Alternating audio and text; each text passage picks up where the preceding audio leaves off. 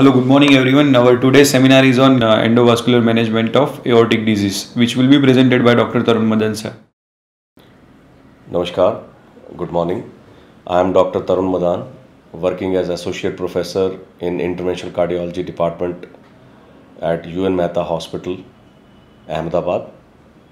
And uh, today I will be discussing with you about endovascular management of aortic disease. Aorta is a complex uh, disease, starts from the ascending aorta up to the distal part of aorta where the iliac bifurcation takes place. Start from the ascending aorta, it's a surgical disease. Ascending aorta cannot be managed with endovascular intervention. So we have to respect that and give it for surgical management. Starting from the arch, then upper thoracic aorta, lower thoracic aorta and abdominal aorta, it has various kinds of disease manifestations. We start from the arch where we have arch aneurysm where we can proceed for hybrid repair. Then descending thoracic aorta aneurysm where we can do endovascular repair along with hybrid repair. Type B aortic dissection, intramural hematoma, penetrating aortic ulcer. These are the different disease manifestations which can happen in the aorta. Then coming to blunt traumatic aortic injury when one someone is driving in a car and you have a head-on collision. So the spine because of the accelerated movement forward jerk is given to the thoracic aorta and there is a transection sometimes partial or complete transection. Then coming to congenital heart disease coarctation of aorta and then distal part of aorta in the form of atherosclerotic aortoiliac occlusion Leriche syndrome. And then last but not the least is Takayasu disease or non-specific aortoarteritis which can present with stenosis as well as aneurysms. There are different zones in the thoracic aorta where we can have disease planning, treatment planning. Starting from the zone 0, zone 0 means across the innominate artery. So aorta has three main branches. First branch is innominate artery, second branch is left common carotid artery and third branch is left subclavian artery. Zone 0 is across the innominate artery or proximal to the innominate artery between the innominate artery and the left carotid artery, as we can see here, there's zone 1 and then distal to the left common carotid artery zone 2 and distal to the left subclavian artery it is zone 3 and then zone 4 beyond that. So if we want to treat beyond zone 0 we have to give an alternative source of blood supply to the innominate artery and the left common carotid artery. These are the different type of arches we can have various types of arches like the type 1 arch, type 2 arch and type 3 arch. This depends on the takeoff of the left subclavian artery and the distance between the innominate artery. In the type 1 arch, all three vessels, innominate, left carotid, left subclavian are at one level. In type 2 arch, innominate is at lower level, so it becomes difficult to cannulate from the femoral axis. And type 3 is again difficult that it goes very very lower down and left common carotid and left subclavian almost they are at oblique origin. There are different variations. Left common carotid can arise as a branch of the innominate artery. Then we can have uh, common origin of the left common carotid and right uh, innominate artery. This is called bovine arch. Why it is called bovine arch? Because it resembles the horns of a bovine. As you can see in this picture the innominate artery and left common carotid artery are arising as two horns of a bovine. There are different endovascular stents available to manage this disease. You take self-expanding covered stent grafts and treat the aneurysm pathology. So this is a pictorial uh, video which shows an interesting case of distal arch aneurysm. This patient had hoarseness of voice because of the compression of the left recurrent laryngeal nerve and we can see the left common carotid and the innominate artery are having a common origin and just in front of the left subclavian artery there is a large aneurysm. So how do we treat the thoracic aortic aneurysm? Aneurysm basically is a weak area of aorta that will expand or bulge when the blood is pumped through it and the tunica media, intima and adventitia all three layers they bulge out and the aorta becomes weaker. So basically you put a covered stent, you endoline, this is called endolining of the aorta and you put a stent graft. So now what we did in this case, we first debranched both the left carotid and innominate artery and then alternative blood flow was given to both the carotid arteries. So innominate was ligated and from the left subclavian to left common carotid, a extra thoracic or we can say just inside the supraclavicular area, a bypass graft was given. You can see this is a left common carotid artery where my pointer is pointing out and this is a left subclavian bypass and this goes to the left subclavian artery. So this patient uh, then we did a CT angio after the bypass graft. We can see in the CT a beautiful graft from the ascending aorta to the right carotid and left carotid and from the left carotid we did a debranching bypass to the left subclavian artery. Now in zone 0 deployment we started the thoracic valiant stent graft proximal to the innominate artery and we can see in this video which is a digital subtraction angio that patient has got patent innominate artery and patent left carotid artery and the patent left subclavian artery. So this patient was very nicely managed with the help of hybrid repair. Now you can see in this subsequent video that aneurysm has disappeared, there is no endo leak, all three supraortic branches are nicely patent, left subclavian graft is also nicely patent. Now to prevent the endo leak, we plugged the left subclavian artery with the help of Amplatzer vascular plug from the brachial axis so that there is no endo leak to the aneurysm. So LSA left subclavian artery was also plugged.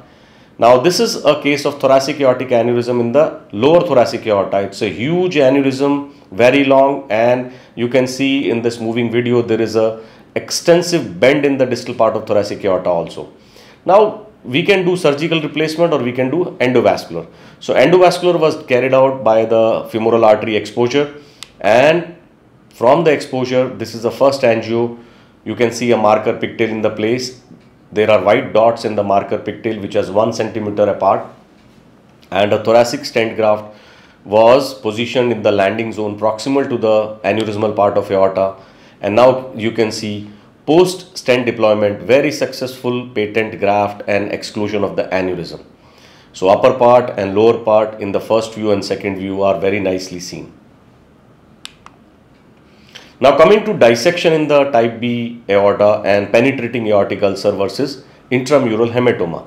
In the first slide you can see this is a circular picture of aorta. Aorta has three layers intima, media and adventitia. Suppose there is a dissection, there is a tear in the intima which is called aortic dissection. Now on the second picture you can see the penetrating aortic ulcer, the intramural hematoma, the saccular aneurysm and the rupture. So on the left hand side in the second picture there is aortic lumen and on the top we have written three symbols I, M, A. I means intima, M means media and A means adventitia. Whenever there is a penetrating aortic ulcer, the, that corresponds only to the intimal depth. So the depth of that penetrating aortic ulcer is up to media only and this is called penetrating aortic ulcer. Suppose there is an intramural hematoma that will extend up to the media so it will be constrained by the adventitia and when it further progresses there is a bulging adventitia also bulges out that becomes a saccular aneurysm. So all three layers are gone and if it ruptures then that becomes an extra aortic hematoma. So there are classification of aortic dissection Stanford type A type B. Type A means proximal with the uh, distal extent and type B is only distal.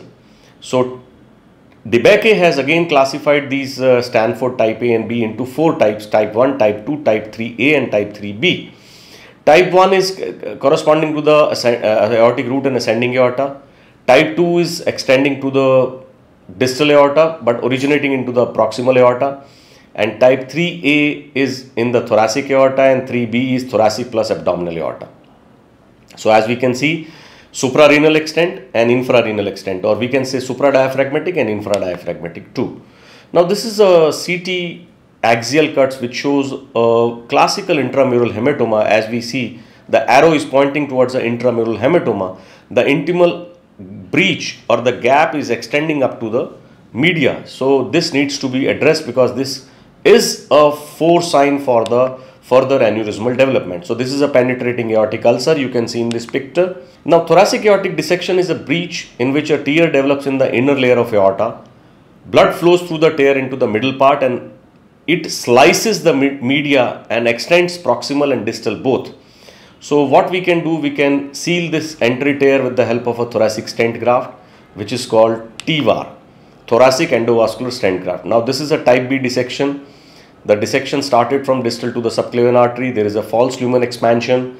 The dissection was extending up to the origin of the left common iliac artery. So we chose the right common iliac artery.